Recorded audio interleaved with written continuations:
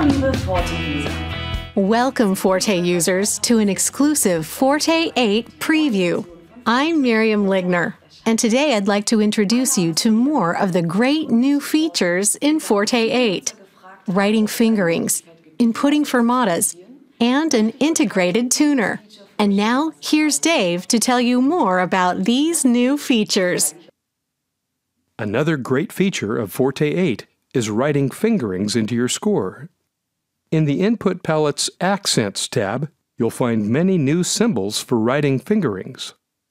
Simply select the desired symbol from the Input palette and click on the note to add the symbol. If you've written chords, you can add the fingering for each note individually.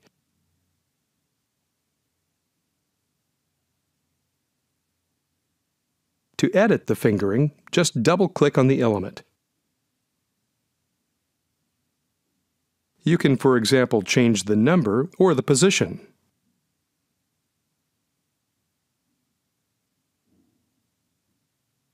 Forte 8 has improved the input of fermatas.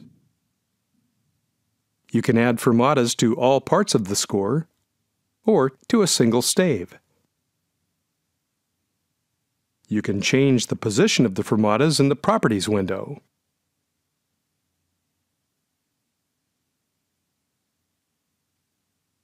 You can even write fermatas on rests now. Forte 8 also comes with an integrated tuner. The tuner is on the right end of the main Home menu ribbon. At the moment, the tuner works for stringed instruments only.